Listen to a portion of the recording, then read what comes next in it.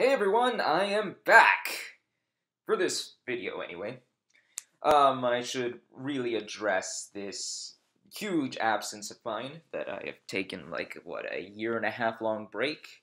Um, just me being fully transparent, that is due to my utter and complete laziness. Well, also personal stuff that I won't bore you guys with, but also, yeah, legitimately laziness and also uh, what free time I have, I've been using for various other things. I've been uh, reading a buttload of comics, um, getting into a bunch of TV shows, uh, a bunch of movies, both superhero and not, and videos, like writing and making videos, has taken a backseat to all that. So I apologize, and I've received a few comments here and there that have been wondering, you know, when I'm going to do more videos, and I really appreciate the interest. I really do. Um, but you know, uh, with all that free time I was using for other things, and my uh, you know, like writing inspiration I've been using for school and other personal things like that. Um, you know, my videos probably wouldn't have come out any good if I've been doing them during that time. So uh, that's all to say that uh, I am no less enthusiastic about reviewing things like Batman episodes or other movies or even comics. Um, so hopefully I will get back into it more and videos will come out more regularly, but I'm not promising anything because again, when I promise things, I take a huge ass break. So that's all to say that hopefully more videos will be coming soon. I thank all of you for your interest and for keeping the subscriber count up and everything. So without further ado, let's move on to the review you clicked on. Take care everyone. See you soon.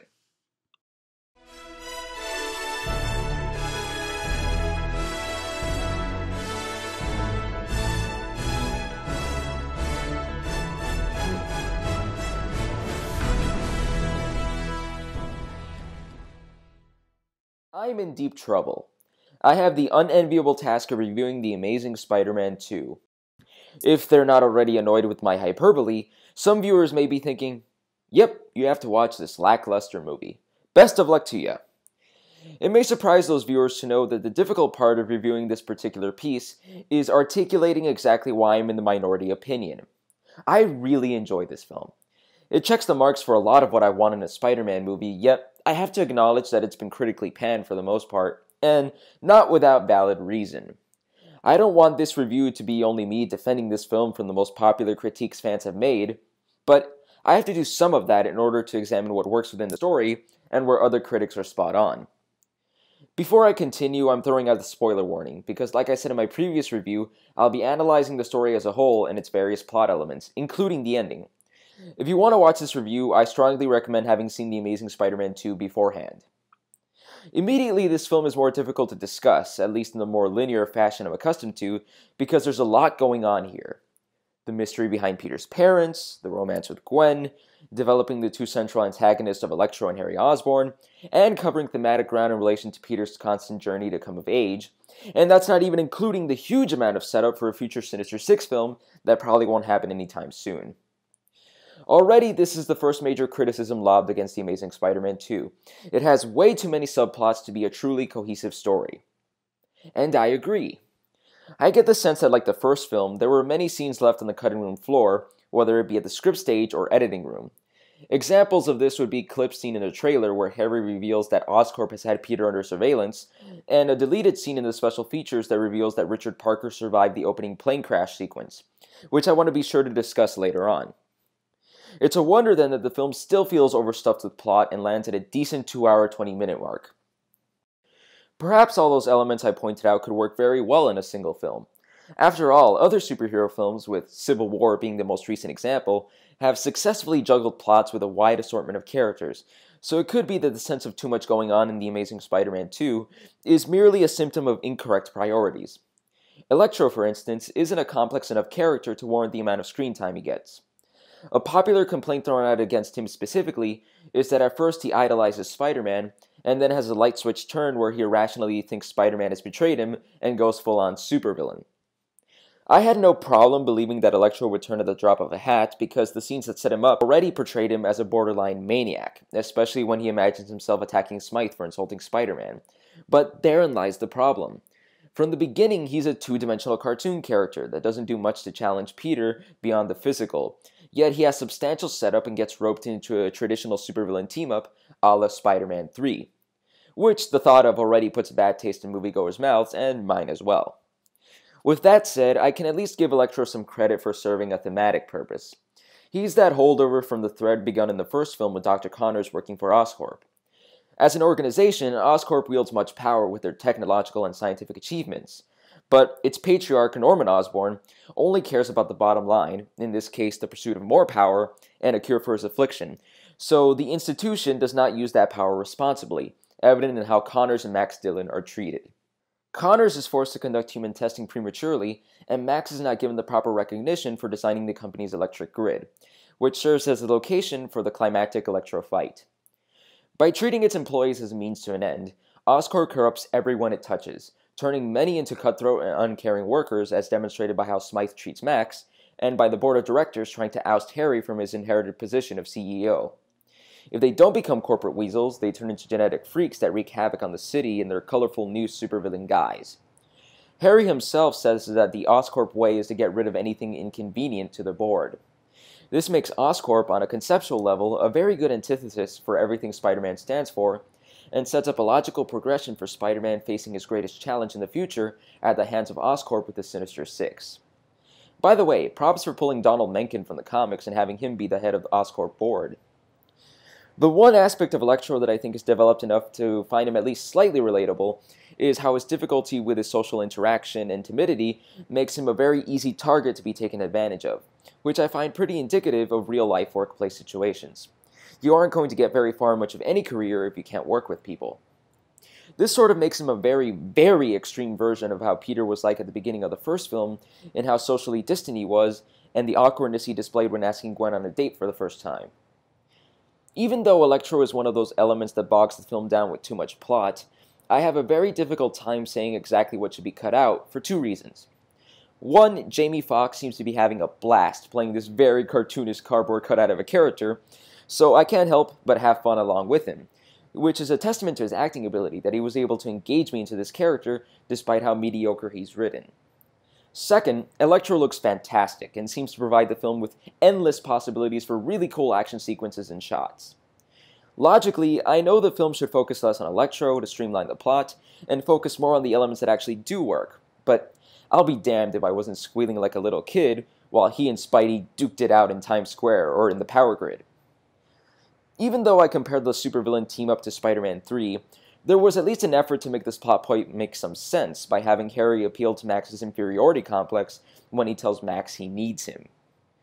The real problem I have with the team up is that it squanders a potentially interesting opportunity to explore these pair of villains with our pair of heroes. Throughout both of these films, though especially this one by the end, we're shown how Peter and Gwen work well together, that they in essence need each other. Much of what's interesting about Peter's development in this film is how he copes with the complexities of having Gwen around and her being gone. The villains could have been used to further explore or contrast this theme by showing Max and Harry interact more, perhaps even double cross one another to show the dark side of needing another person, or simply using them as a means to an end like Oscorp. As it stands, that line Harry has ends up being a simple and quick excuse to join forces. Now, I like to move away from Electro and discuss Harry on his own. Out of the two, I find him much more interesting, but his turn into the Green Goblin is just as problematic, if not more so. For the sake of the story, Harry really needed to be set up in the first film, because it gives this one the added headache of having to convince the audience of Peter and Harry's friendship, along with everything else this story is dealing with. To Amazing Spider Man 2's credit, Great performances saved the day again, because I really love Dane DeHaan as Harry, and he interacts extremely well in the scenes with Garfield, especially when Peter gets him to open up and smile after his father's death. I can't exactly recall right now, but someone in the special features, it may have been Orci or Kurtzman or Webb himself, says that with Harry they wanted to do a slow burn Goblin movie, which sounds like a great idea to me. To see Harry slowly but surely decay and get pushed to the point of desperation to become Spider Man's big antagonist could work great for a Spider Man movie. But in order to do this effectively, this film needed to be extremely streamlined to really get the full impact of Harry's turn to the dark side. With the other primary villain and the subplots concerning Peter's parents, Harry's arc becomes diminished. All these elements are at least flimsily connected, but focusing on one or two of them would have worked better than having them all at once. That, by the way, is another structural weakness of The Amazing Spider Man 2. It is pretty convenient, or especially inconvenient as it were for Peter, that the death of Norman Osborn slash Harry's arrival and Max's transformation happened pretty much at the same time, making Harry and Max's roles in the story feel too disparate from each other. Some of the film's plot progression could have probably been helped if somehow one of these elements was the cause of the other. But getting back to Harry, what really boggles my mind is why he's so desperate to be cured immediately. After all, Norman seemed to live well past middle age, and Harry has all the same resources at his disposal, so why can't he wait for Spider Man to run tests on Harry's blood before giving him a sample? There's not even an attempt at a contrivance to make Harry's irrational fear work, which is a real shame because, like I said, DeHaan is really selling Harry's downward spiral, releasing more and more of that anger that is clearly just below the surface after Norman's death. I say after Norman dies because Harry's anger is just right there on the surface during the deathbed scene, albeit not as maniacal as when he goes goblin at the end. If Harry's progression was more thought out and given proper focus, he could have easily been one of the best tragic villains in a superhero film. Speaking of Goblin, it really is a testament to this film's wonky pacing that even though Harry is given his own subplot throughout, Goblin still feels tacked on at the end. It's as if the film should be over, at least in a structural sense, after Electro is defeated, and yet Goblin needs to be crammed in for a few minutes so they can rush Death of Gwen Stacy and guarantee the film is as overstuffed as humanly possible. I don't think Electro as is could carry an entire film, but having him be the only true villain for this film turning Harry into the Goblin at the very end, and saving Death of Gwen Stacy for a third film would have been a much better idea for the story being told here. Well, now that we're talking about things that should be in other movies, let's go to my least favorite plotline in The Amazing Spider-Man 2, the Richard Parker conspiracy. After rewatching this movie a few times, I've become convinced that the plane crash scene and Peter finding the video where Richard explains that he implanted his own DNA into the spiders should have been in the first Amazing Spider-Man, especially with the Marc Webb idea that I mentioned in the last review of that film being about a boy finding his father only to find himself. Since the last movie was heavily marketed as the untold story, I think fans and moviegoers would have been much less disappointed in that regard if the revelations arbitrarily saved for the sequel were given to us up front. I suppose the problem with this is that by excising most of Richard's subplots, you can also take away Aunt May's already small role, and it would be a shame to lose the great scene where she breaks down to Peter and asserts that she is his real mother figure, like Ben is his real father figure. You could also make the argument that Richard is at least somewhat tied thematically to this movie because the passage of time is an important motif throughout, and Richard's time with his family being up adds to the fleeting happiness Peter experiences with Gwen in the present. The film even begins by showing us the inner workings of Richard's watch, but a short flashback of the Parkers being happy together before the plane crash, as the film begins, would have served just as well. You could even keep the opening shot of the watch to drive the motif home and preserve the symmetry of the final battle taking place in the clock tower. Now that I think about it, perhaps the other thematic justification for the Richard subplot is that he plays into the idea of Spider Man giving people hope, possibly even a cruel false hope, because Richard reassures his wife that everything is going to be alright just before they're killed in the plane crash which is bafflingly edited, I might add. Seriously, we are shown the Oscorp assassin hitting Richard in the face, and then the pilot, who hasn't been in a single frame yet, inexplicably loses consciousness. We don't see a bullet ricochet and hit the pilot or anything. Also, maybe I'm missing a plot detail, but I have no idea why Richard makes accessing the Roosevelt video so needlessly complicated. Since Peter's the only one that can continue Richard's research, why not just give Peter everything he needs in the secret briefcase instead of leaving behind really cryptic clues like the subway coins? He must have intended for Peter or someone to find that video, right? Otherwise, why sacrifice yourself to upload the video file during a plane crash? By the way, even though I can buy he'd have a secret lab to work on his experiments so Oscorp can't get their hands on them, it's still pretty over the top to me to have it in a secret subway tunnel behind a fake wall that's activated with the coins. All this makes me even more glad that the scene with Richard and Peter after Gwen's death was cut. First of all, it would have raised way too many questions and tacked on even more plot after Goblin. Second, it would diminish Uncle Ben's impact on Peter's development in the first film because he would no longer be the primary paternal influence in Peter's life now that Richard is around to give him the responsibility credo. Third, it would have served little purpose anyway, since Gwen's graduation speech, which I'll get back to later, is already there as justification for Peter to be Spider Man again, and the focus should definitely be all about Gwen in the finale. Well, after all this complaining, and I'm not quite done yet, you may have forgotten that I started this review by saying, I like this movie. Aside from the stellar performances across the board, Peter slash Spider Man and Gwen make it very easy for me to swallow an admittedly overabundance of flaws. The combination of both Amazing Spider Man films forces me to seriously put Gwen under consideration for the best female character in a superhero movie, not only because she's very charming, but she's every bit the hero Spider Man is. Not only does she demonstrate that she is smarter than Peter by thinking to magnetize the web shooters to fight Electro, but she also risks her life to defeat the villain. In both movies, actually. I do like that her smarts are not portrayed in a condescending manner to Peter, but she's still able to crack a joke about it when she points out that Peter was still number two at Midtown High. Now, before delving deeper into Gwen's role, I should point out that not even her relationship with Peter is without flaw in the writing department, though the problem is more with Peter than anything she does. I know Peter's been racked with guilt in between this film and the previous one due to breaking his promise to Captain Stacy, which is really awkward with Amazing Spider-Man's ending, but Peter being wishy-washy and turning the relationship into an on-again, off-again deal doesn't add much of anything except easy drama. By the way, Peter stalking Gwen around every day certainly doesn't help in the endearing boyfriend department, which she seems to be really okay with. It's lucky that Garfield and Stone have such great chemistry, or else these things would never cease to bother me on rewatch. Gwen moving to England and Peter deciding what the best thing to do for both of them could have probably been enough to sustain a romantic subplot. Also, I don't mind Peter seeing the ghost of Captain Stacy because I get what they're going for, in that Peter's not going insane or anything, but that it's simply a visual representation that he is reminded of Captain Stacy in key moments. My favorite being when everything goes into slow motion as Electro is about to attack towards the end. Seeing Captain Stacy in this brief moment is good foreshadowing that Peter will have even more guilt to deal with when history repeats itself with Gwen, especially now that she's run off and put herself at risk to stop Electro. Her death due to getting involved in superheroics unexpectedly doesn't throw her under the bus, because I don't get the sense that she died out of recklessness on her or really Peter's part. She was the only one in the moment that could help Spider Man, and she had the brains to pull it off.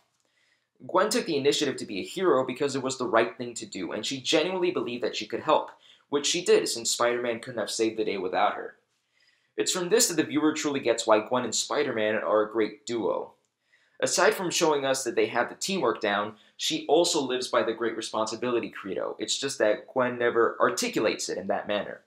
She does exactly what Uncle Ben told Peter in the first movie. She felt she could do something good for other people, and she took it upon herself as a moral obligation to help however she could. When she asserts that helping out is her decision, I interpret her intensity in that moment as her being so committed to saving lives that for her, there is no choice. Fulfilling her responsibility is something that she needs to do. The fact that she dies illustrates that being a hero comes with a price, both for herself and one that Spider Man will have to continually deal with. In many respects, Gwen is at the thematic center of the film, which, despite the rushed events that lead to this, makes it a very appropriate place to kill her off. She makes the time and hope theme Spider Man is grappling with poignant because the example she set by being a hero gives Peter hope in the same way he hopes the Spider Man persona will be able to for others. I really like her graduation speech, which serves to bookend the film because, at least in my eyes, it's able to get away with spelling out the film's message. Everything she mentions in the speech is a wonderful combination of her own principles, a message appropriate for her fellow high school graduates, and the universal themes Spider Man stories always play with. For instance, her assertion, fight for what you think is right, and even if we fail, what better way is there to live, is her version of the great responsibility message, and alludes to how Spider Man is on this constant quest to atone for not saving Uncle Ben, and perseveres even when he makes mistakes. The only real problem with having this speech at the end is that it's almost a carbon copy of the ending of the first film, where Uncle Ben leaves behind a stirring phone message as Peter reflects upon the journey the film has taken him on. On the whole, the posthumous message device is more natural and emotional in relation to this film's themes over the previous one. Interestingly, the half of the speech we see at the beginning centers around the passage of time, while the half at the end deals with hope, and both effectively sum up who Spider Man is, why he's a hero, and what makes him different from the genetic misfits that are his villains. What makes life valuable is that it doesn't last forever is a sentiment we've heard time and again. But one of the true successes of Amazing Spider-Man 2 is that it's legitimately somewhat explored within the characters and the film's plot points. as muddled as they may be. Even before Peter distraughtly says that he can't do the whole Spider Man thing without Gwen, we as an audience appreciate how precious Gwen is to Peter, specifically when he commits to following Gwen to England or wherever she may go. Even though Peter couldn't save Gwen, or to put it another way, stop time, as is blatantly represented in the admittedly cool image of Spider Man keeping the gears of the clock tower from turning in the fight against Goblin, he did cherish their relatively brief time together and uses her example to continue persevering and preserving the sanctity of life. Harry serves as a solid juxtaposition to the fleetingness of time, and how that makes every moment valuable because he knows he's running out of time, and that's exactly why he comes to not care about anyone's life but his own. The real shame is that this wonderful wrinkle doesn't quite work because Harry actually should have plenty of time, as I pointed out earlier. It is good that Harry lives because he's fated to be a monster until the end of his days at this point, while Gwen died before her time but made her final days count. I'm not sure if the hope theme works quite as well because the critique the film is putting upon Spider Man, that he may be perpetuating a false hope, doesn't work because of the villains. Since they both have contrived setups, neither villain has a legitimate grievance against Spider Man. I get that they're playing with a classic trope of Spider Man having the best intentions, yet making mistakes, as anyone would, which is pretty tricky to do without making Spider Man look unlikable or idiotic. But both villains are ultimately too one note to support that kind of nuance. The first movie handled this better by giving Peter a direct hand in creating the lizard, but he's not thrown under the bus because he couldn't have possibly known such a mutation would happen, and probably would have never considered human trials in that early stage. The Hope theme is much more solid in relation to Spider Man saving civilians, due to the scenes such as the montage of Spider Man running around saving people after Gwen broke up with him, and when he keeps bystanders from touching the metal railing in Times Square. The time the movie sets aside for these and other moments of Spider Man simply being Spider Man are essential if we're to pie the public rallying behind him in the final scene. The sequence that really gets me is when Spider Man saves a small boy from bullies and takes the time to both fix his school project and walk him home. I really like this, not because the boy comes back at the very end, but because it's genuinely a very sweet thing to do. This also serves as a wonderful progression to the scene in the first film where he saves the boy on the bridge and tells him that the mask makes you strong. All this talk about hope pays off in the final scene, and I don't care how silly, contrived, or cheesy it may be. I love the ending of this film. Lady, how could you let your kid run off in the middle of a supervillain attack? What would have happened if Spider-Man hadn't decided to come out of retirement that day? Why is Rhino wearing a mech suit that everyone thinks is silly even though he's mechanical in the Ultimate Comics? I don't care. The ending is a perfect encapsulation of everything I love about Spider Man and superheroes in general. He overcomes his personal problems and always shows up in the nick of time, clad in a fantastically colorful costume to save the day. He perseveres and teaches us that anyone can be a hero, even that nerdy, quiet kid studying in the corner. Okay, I'll try not to be so sappy as I continue this review. I just wanted to illustrate that this film, if nothing else, succeeded in speaking to me on a personal level which is something I honestly can't say too often about any Spider Man film. Now, I know there's at least a significant amount of people who are of the opinion that would have been much more impactful to end the movie quickly after Gwen dies, perhaps right after the scene of her funeral, or Peter visiting her grave through the seasons. Though I definitely can see where these viewers are coming from, I strongly disagree that this would be the right ending for the story on account of the hope through line. That needed a resolution, and the one we were given offers viewers an effective closure and speaks to the core of who Spider Man is.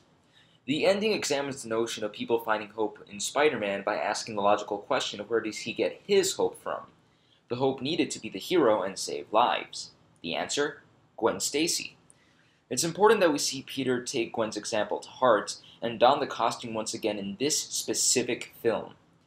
Perhaps the wrap up is too neat, but I feel that the sentiment is spot on. I will admit that it is a shame and total bonehead move on Sony's part.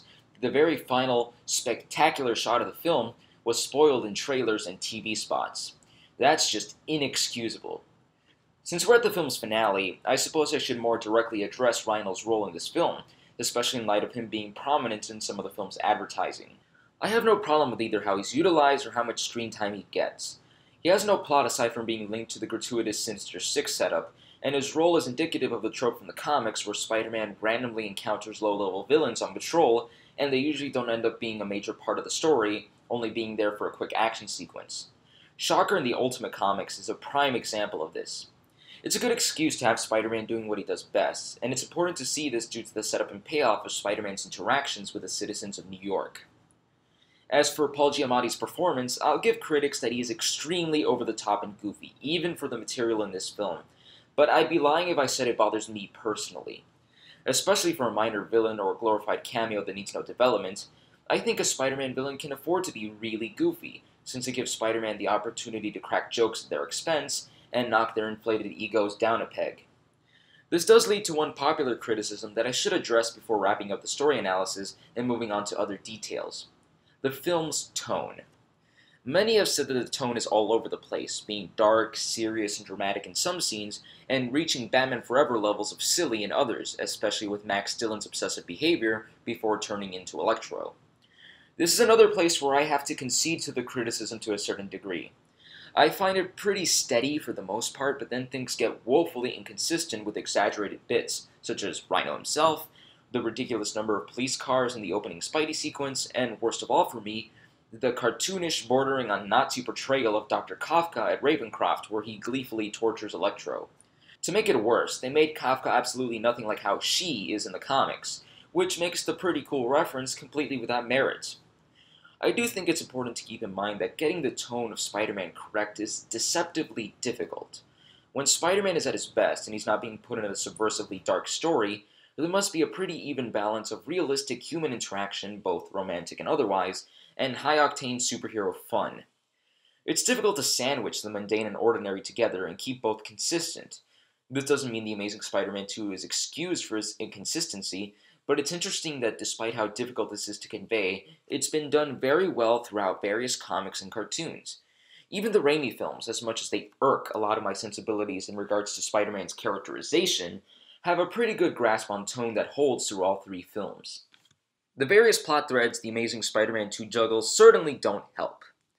Since that's all I have to discuss in terms of story, let's move on to visuals, since I've already gone over the performances. This film is easily one of the best looking superhero films of all time. Of course, looks aren't everything, but I still have to give it big props for its superb color palette and visual effects. We've moved far away from the muted grays that dominated the previous movie and upgraded to warm hues that remind me very much of modern comic art, without looking extremely stylized like Sin City or even parts of Watchmen. I'm particularly reminded of some of the earlier Ultimate Spider Man issues, such as the first arc that features Dr. Octopus as the main antagonist. In places, I'm tempted to pause shot after shot just to admire how vibrant everything looks. The visual effects work is almost seamless throughout, at least to my eyes. There are sequences when Spidey is swinging where I think it has to be a CGI double, but it never looks fake. Even though I've seen Spider Man swing around in four other movies, and it shouldn't be a selling point anymore, his jumping around the city swinging from line to line has never been this breathtaking. My favorites are the very first sequence where he's dropping straight down into the heart of the city, and just before the final fight with Electro, where Spidey is chasing him as a stream of light. There's something very magical and dreamlike about how that's visualized that gets to me every time. And I love the touch of Spider-Man climbing his web line to gain altitude, just like you do in the Ultimate Spider-Man and Web of Shadows video games. Speaking of breathtaking, how about that Times Square sequence? Not only is the photography excellent throughout, but how the spider sense was visually represented by showing us every person in immediate danger is just inspired. Almost like an upgrade to that spider sense scene in the first Raimi film where time slows down before and during the fight with Flash. It's set up magnificently too because multiple people are shown in different positions as they are seconds away from being either electrified or crushed, and Spider-Man's down a web shooter, yet he still manages to get everyone in time. The shift into first person POV as the police car comes tumbling forward is really cool and makes the audience feel they are right with Spider Man. Plus, what's not to love about Spider Man wearing a fireman's hat? The fight in the power grid is similarly stylish and peppers slow mo throughout without seeming gimmicky, almost as if to savor the shots that border on iconic.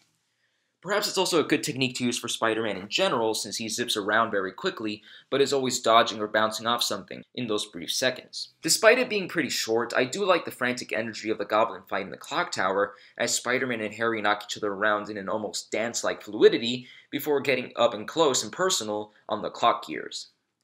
I did briefly mention the opening sequence of Spider-Man chasing Alexei Sytsevich, and besides the ridiculous amount of police and Spider Man letting the truck crash into a bunch of cars where people must have died, I was still grinning ear to ear because the sequence is swashbuckling in its lightheartedness, and they brought back the Spidey Cannonball! I am coining that right now. The other big visual change from The Amazing Spider Man is the costume itself. I know I talked about it briefly in the last review, but I want to gush about it some more. Anytime the suit is in frame, I'm in absolute awe. Even though it's pretty similar to the Raimi suit, the costume designers added a few subtle touches that add so much to the design. First, they made the webbing on the suit a glossy black instead of silver, and it looks so much better. I believe that for the Raimi suits, the webbing had to be silver to properly photograph the red elements, but I'm glad technology has improved so that's no longer necessary, because the silver web always looked off to me. Maybe I'm just being nitpicky. The other change for this suit, and the most noticeable, is the big white comic book eyes on the mask. I feel it adds so much more to the mask's expression even though the eyes can't move like in Holland's suit. And I love that the pearly white was augmented using visual effects so that there's always a reflection in the eyes. Probably my favorite shot in the film is the close-up on the eyes in the scene I mentioned earlier when he's reminded of Captain Stacy before getting rushed by Electro. Garfield's build in the suit is extremely similar to Ultimate, and that wins big points with me since my single favorite visual representation of the wall crawler is Mark Bagley's. The last thing I'll mention before wrapping up is Hans Zimmer's score, which I don't think has been well received. I myself am very indifferent on the whole to the soundtrack. I appreciate that it's overall more lively than Horner's score in the first film, but there's only a few tracks that really stand out to me. As someone who has no interest in dubstep, I'm surprised I didn't mind Electro's theme. An electronic sound is certainly appropriate for his character, and I appreciated how Zimmer tried something different than the Dark Knight sound he's so often associated with by including the voices in Electro's two-dimensionally crazy head in his theme. The Goblin theme isn't particularly memorable, but I do find it unnerving when I hear it with the movie. Spider-Man's theme had to grow on me because it reminded me of sporting event music, and while I much prefer the melody Horner came up with, I still do like this new one. I absolutely love the track You're That Spider Guy. The build-up as it crescendos into the Spider-Man theme is lovely, and it gives me goosebumps listening to it on its own, and with Gwen's speech as Spidey goes back into action. I appreciate that the Spider-Man fanfare can be heard throughout the movie rather than being relegated to the end credits, which I've noticed more and more in superhero films. Bringing this long overdue review to a close, The Amazing Spider-Man 2 is very flawed, as I've pointed out at length throughout this video, and I completely understand why many don't like it, but I can't get enough of Peter and Gwen in this film. The acting is top notch, and the gorgeous visuals are certainly nothing to sneeze at. Even more so than The Amazing Spider Man, I turn into a little kid when I see Spider Man throw his trademark quips in his glorious new suit. Calling Electro Sparkles is pure gold. I feel Marc Webb's affection for the character on screen. As for the story, it's still a huge mess, yet in my analysis I was able to find some character progression and thematic material that genuinely worked. I just wish it weren't buried under superfluous fluff. Strangely, it feels as if this movie took the strengths and weaknesses of the prior film and put both on steroids, since the plot is even messier, yet Spider-Man's portrayal is even more outstanding. I give The Amazing Spider-Man 2 a 3.5 out of 5, because I do have to take into account the movie's faults, but that score isn't indicative of the pure joy I get out of watching it. If you hate this movie, I doubt I've changed your mind, but hopefully I provided a different perspective and pointed out elements in the story you maybe hadn't considered before. It's a shame that this series of films had such a short time in the sun, but I'm of course beyond excited that Spider-Man has joined the ranks of the Marvel Cinematic Universe, and from what I've seen so far, Tom Holland is just absolutely terrific. Both Spider-Man film series are heavily flawed in my eyes, so I hope Spider-Man Homecoming takes the opportunity to improve on what's come before and deliver the best adaptation of the web slinger for the big screen. I'll be returning to Batman animated series reviews after this, but I'm still very keen on reviewing more Spider-Man media. Hint hint, 90 series and Spectacular Spider-Man. So let me know if that's something you guys would be interested in. Thanks again everyone for tolerating my abysmal laziness in getting more content out, and especially for keeping the subscriber count up in my year and a half long absence. You guys are the best, so until next time, take care and keep spinning webs.